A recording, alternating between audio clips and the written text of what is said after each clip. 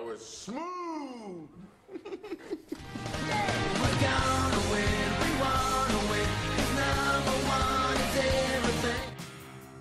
Glen Mills, Usain Bolt's coach, believes that speed endurance and pure speed have to work hand in hand.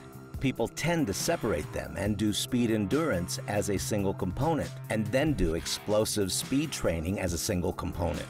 A lot of times athletes say they have not started speed work yet, which means they have been doing speed endurance work.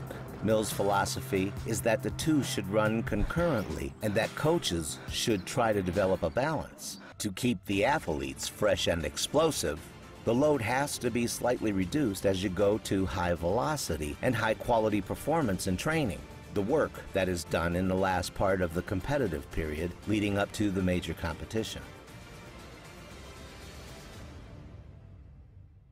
A greater degree of rest is required for recovery, and explosive training must be greatly reduced to maybe once or twice a week, and a recovery should not be less than 36 hours. 48 hours would even be better. A lot of coaches feel that if you reduce the workload too much in terms of training time, the athlete will lose something.